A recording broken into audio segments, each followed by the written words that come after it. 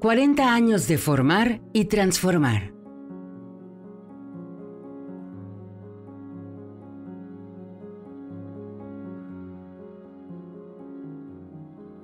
Soy Federico Sayas. He sido profesor de todos los niveles educativos, a excepción de preescolar y, primaria, pero he trabajado en secundaria y hasta posgrado.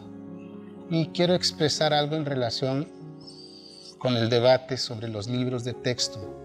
Tengo la impresión de que en este debate ha sido omitido el contexto que le da más sentido a los libros, que es el de la nueva escuela mexicana.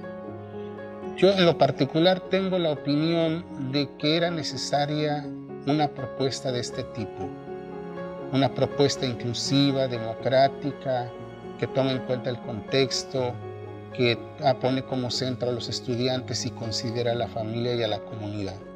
Y la, considero importante, relevante, necesaria, pues por los antecedentes que tenemos. Desde hace muchos años hemos tenido malos resultados en las evaluaciones que practican los organismos internacionales, que tienen la misma lógica.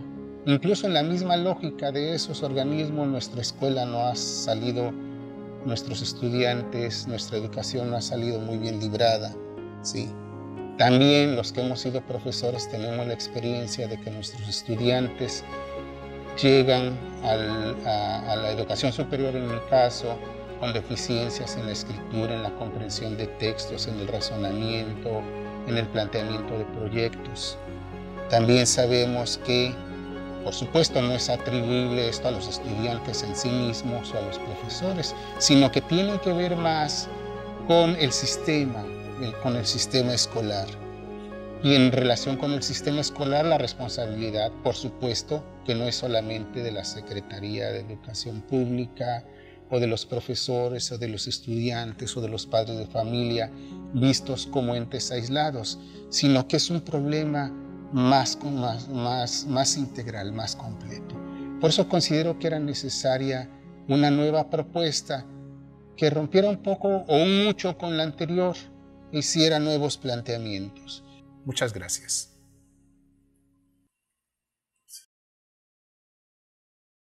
Soy UES, soy Berrendo nada me detiene.